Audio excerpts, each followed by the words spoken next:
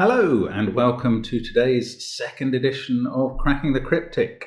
Now, my name's Professor Plum, and I think you've been watching my uh, my friend, the Reverend Green, solving a puzzle earlier today. He says. Now, I don't know what he's uncovered. Frankly, Green has some very crackpot theories, so I wouldn't put too much credence in what he says. And he's not the only one. I'm going to have a go at this crime scene puzzle. Now, just before I do that, I believe the ARG is coming to an end soon, whatever that is. And I believe that people have been working incredibly hard on that. So I hope everybody can play fair on this last day and just get to the solution. Good luck. Now, this puzzle has been sent in by James Kopp, and frankly, it's not a puzzle as much as a reconstruction of a crime scene. And what James says is that the Sudoku shows a crime scene. On the yellow, green, and white tiles lies a dagger and the splattering of blood. Some blood has been removed by the murderer before he fled the area. Help Detective Kropki hmm, uncover the method of the murder and the perpetrator of the crime. On the green tiles, the blood, splatter, the blood splatter can be read as Morse code to reveal the murder weapon.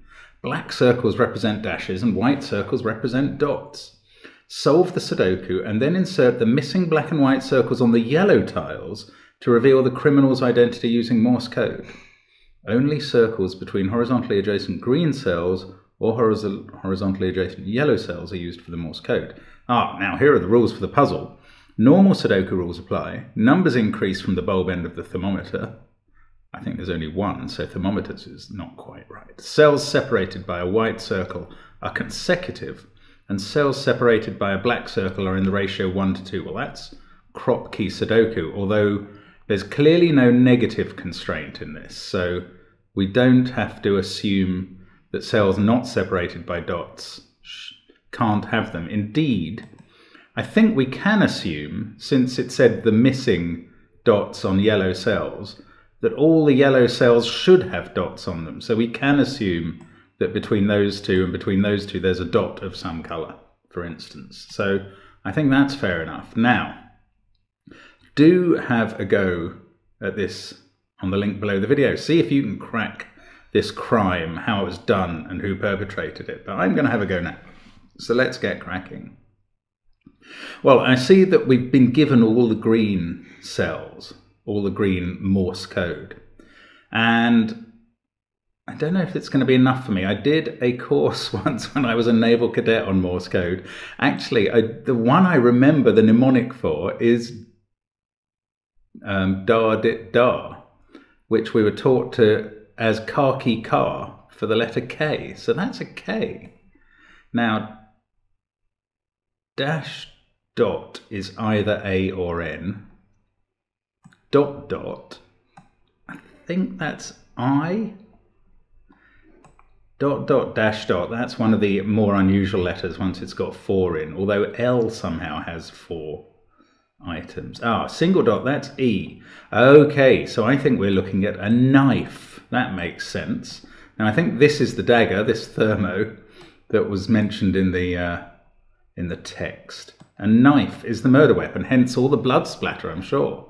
Um, but we don't on obviously know who the murderer is. So, how are we going to solve this Kropki puzzle? No givens in the grid.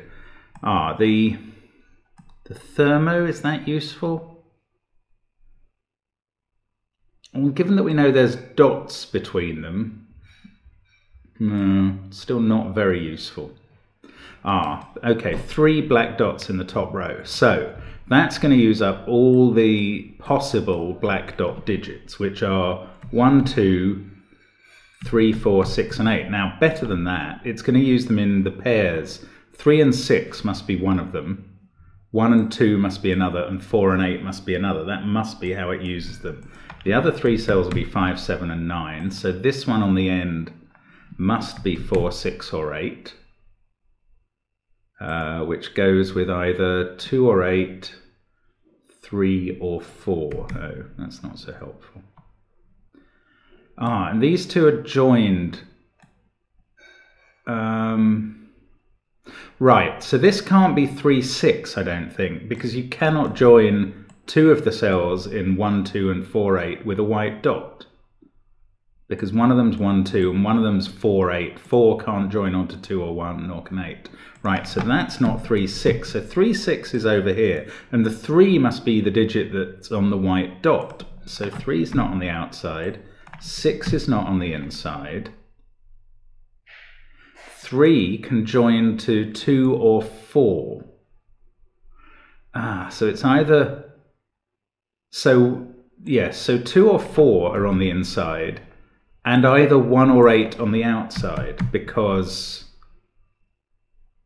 Or 6. Sorry, one of them, in fact, is a 6. Because that's the bit that doesn't connect via the white dot. Now, 1, 2, 3, 6. Either way round is possible, or 8, 4, 3, 6. Okay, so we don't know that. But now this is either 4 or 8, and that always goes 8 and 4 are a pair. Can that not be 2 if I... Yes, that can't be 2 because that's 5, 7 or 9. So this is the 4-8 pair. We can get rid of 4s and 8s here, and we know that this is a 1, 2, 3, 6 combo in some or either that way round or that way round.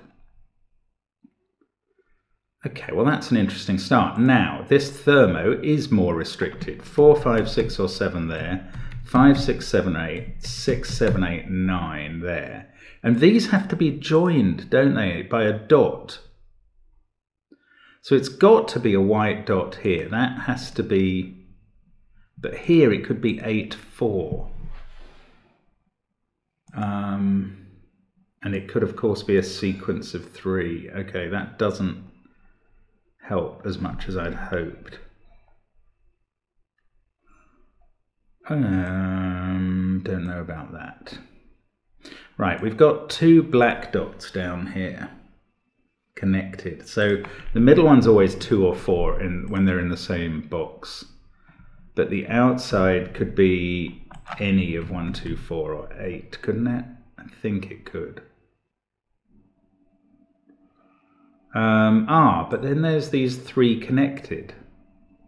So, if this involved an 8 and it was 842, these would have to be 567. They're the only ones you could fit in. If, however, this is 124, well, it's still going to involve 7. It's either 5, 6, 7, 6, 7, 8, or 789. Ah, but there's a black dot at the end. So the possibilities are 5, 6, 7, 6, 7, 8, or 7, 8, 9. But this one is connected by a division of 2. So that is 6 or 8, must be, with this 3 or 4. 7 has to be in this run, so it's in the middle, and the other one must be the other out of 6 or 8. So this is not an 8, this is a 1, 2, 4 with a 2 in the middle, 1 on the 1 and 4 flanking it, this number that connects to 1 or 4 is 3 or 5. And in fact, that makes that the 4. And that's the 1. And that fixes this 6 up at the top. That's beautiful. 6, 3, 2, 1 there.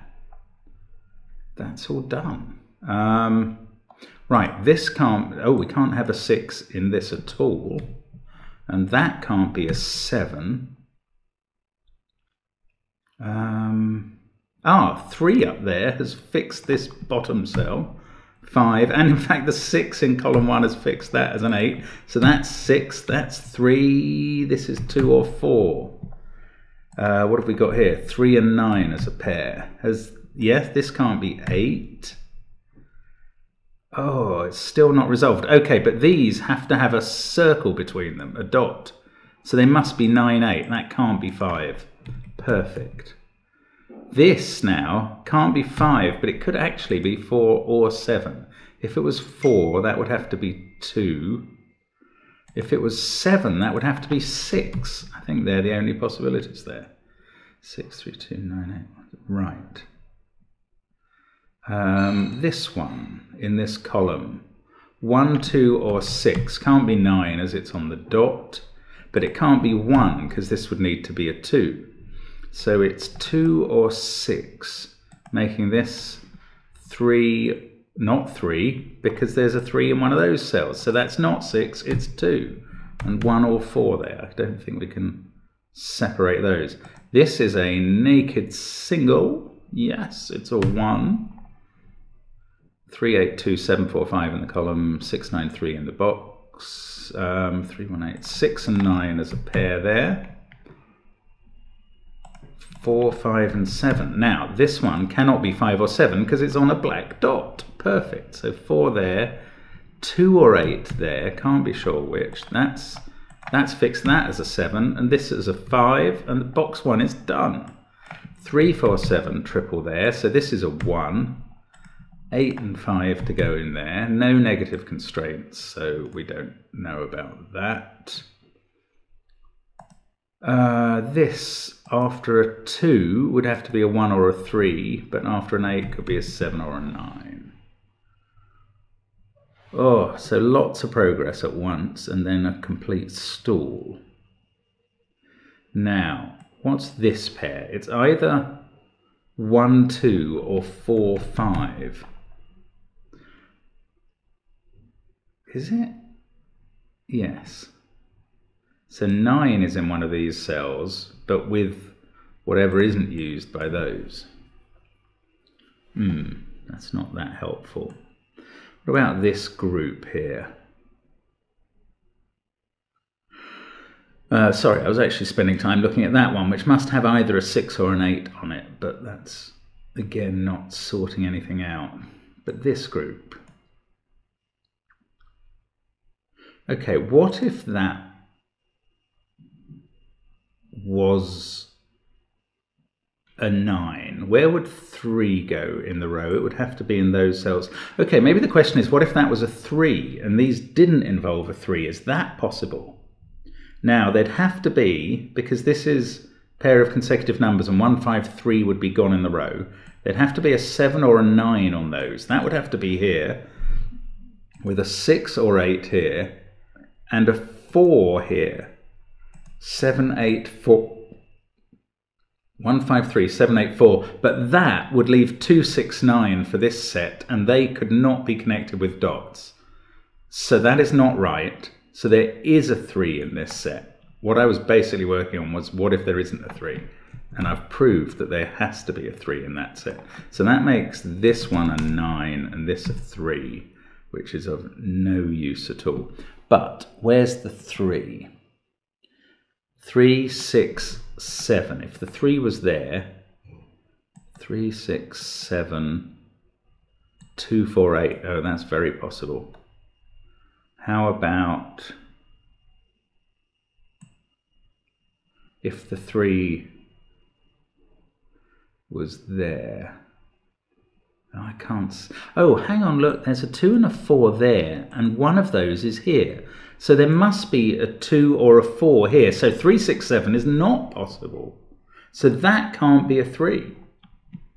Interesting. So the 3 is on the dot with either 2 or 4. Whichever one it is will resolve what pair that is. Um, oh, but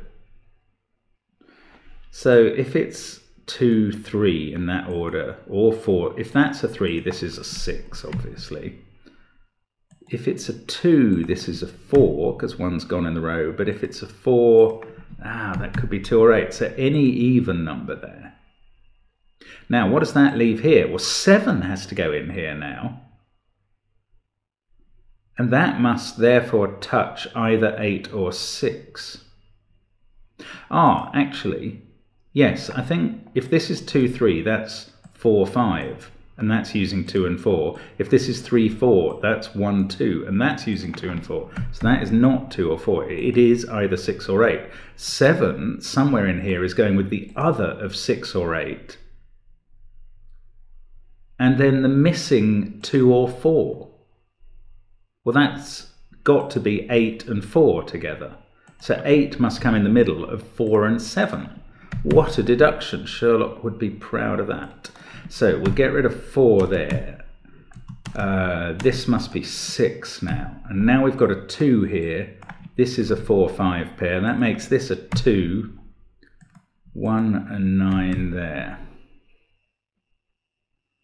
That must be a 5-6 pair. That's all that it can be in the box. That is 1 or 9, and I can see a 1 above it. So we can get all that fixed. This is a 178 triple. Now, what can we scan up and resolve? Absolutely nothing. Classic. Right, 1 and 2 here. Where do... Where, where does 1 go in the middle box? That's quite interesting.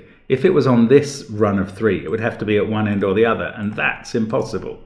And it now not in those because of that, and it can't be there because of that. It must be here, and this must be a two.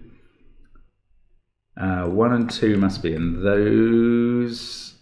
That can't be a one because that would put two here. Do we know what these are? No, not at all. Oh. Ah, but this must have a dot to the 2, so it could be 3 or 4. That's all, I think. That widens the possibilities for this. 4, 6 or 8? Actually, maybe not that far. No, or 5. 4, 5, 6, or 3. Okay, sorry, it doesn't limit those at all. Um, hmm, still haven't resolved that. The 5, 6 pair. What about this pair? No, we just know it's below 7. That's not a lot of help. Oh, that's a 3 now. Gosh, yes, that was resolved ages ago. 3 there and 2 there. So that's not 2. Um, oh, it doesn't get anything else done that I can see. That's a consecutive pair. Can't be four five. Can't it be? Can't involve a three, and that's really not saying a lot. Okay, let's have a look at this run of three again then. Um, now, if it had a three, the three would have to be here. Three, four, five. That's quite possible. Hmm. How do we make further progress? 987. Oh.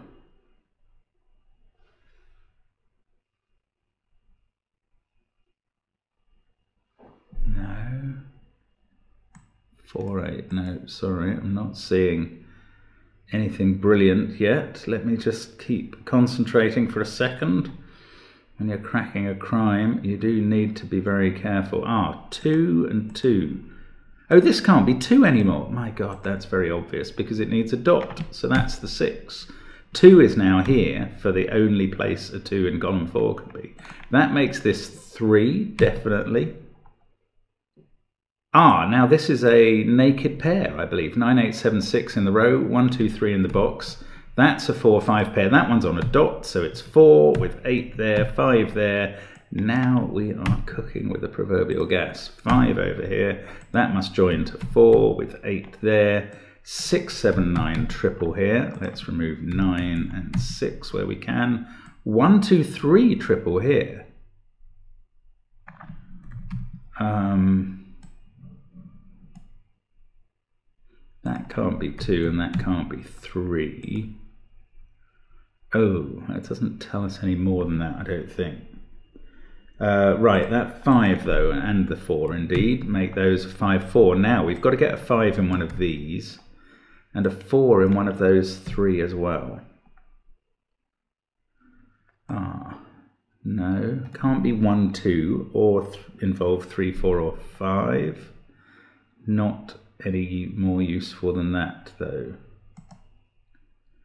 Um, oh, this can't be 2 because this would be 3, 1 and they can't be connected with a dot. So that's not 2. The 2 is here. Um, that doesn't help resolve the other two. 2, 2. It does put a 2 there though. That puts a 1 here, I think. Somehow I've isolated this as the only one cell. Yes, that can't be a 1 because of the dot. Yes, okay. So that fixes 5 and 4. That sorts out 3 and 1. This is now 7 with 6 here. Um, oh, it's coming together nicely now. Right. What's that pair? 3, 4? No, it can't be because there's 3's looking at both cells. Can't have a 5. So it's either, it's from 6, 7, 8, and 9.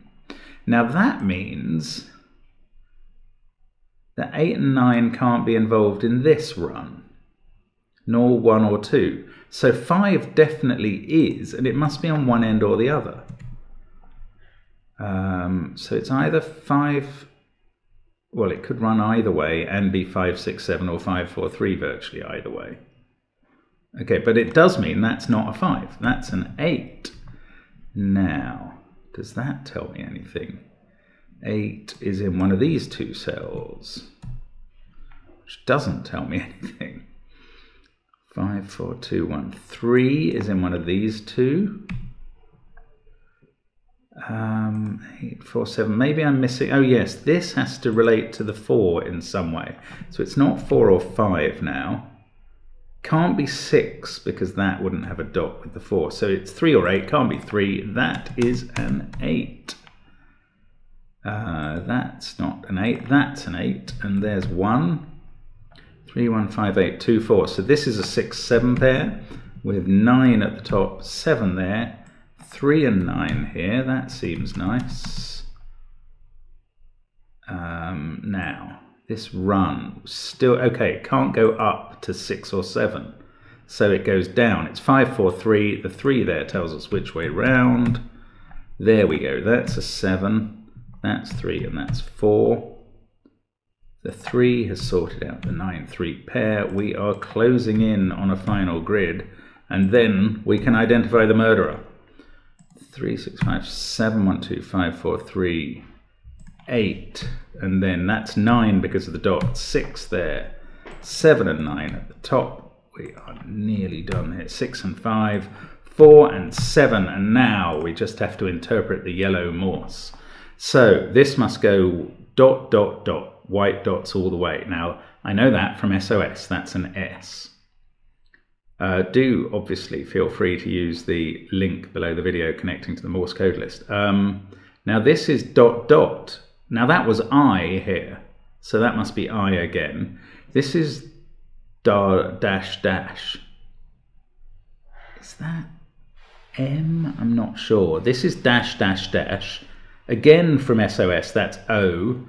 This is dash dot, same as up here, so that's N. And this is an M. Dash dash is an M, so that spells Simon. I knew he would be the killer. Typical. Typical activity. So there we go. Thank you very much to James Kopp for sending in your crime scene. A splendid effort. Thank you to uh, Reverend Green earlier as well. And uh, good luck with the ARG. Good luck with anything on Patreon. And we hope to bring you another one at least of these crime puzzles later because they are fantastic. So thank you very much for watching and hope to see you again soon on Cracking the Cryptic. Bye for now.